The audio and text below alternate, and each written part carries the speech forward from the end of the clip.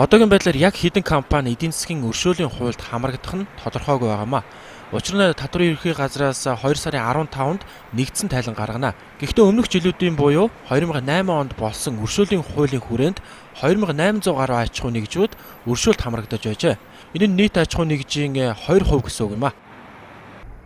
Эдийн засгийн өршөөлийн тухай хууль батлагдсанаар бизнесийн байгууллагын нээлттэй ил тод үйл ажиллагааг хангах, далд эдийн засгийг бууруулах, татварын бааз суурийг өргөдгөх боломжтой. Гэтэл нөгөө талаараа аж ахуй нэгжүүд өршөөлт хамрагдаж татвараас чөлөөлөгдөж болдог их хандлагыг бий болгож байгаамаа.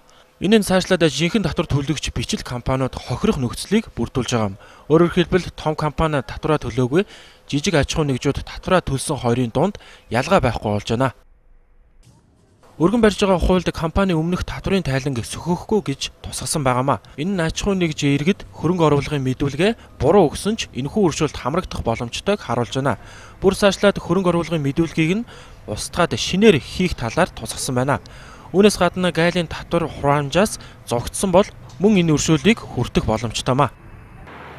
Дээрх олон шүүмжлэлийг дагуулсан эдийн засгийн өршөөлийг хэрэгжүүлээд эхэлвэл улсын төсөвт төвлөрөх орлого эрс багасч эхэлнэ гэдгийг шүүмжлэгчид хэлж байгаамаа.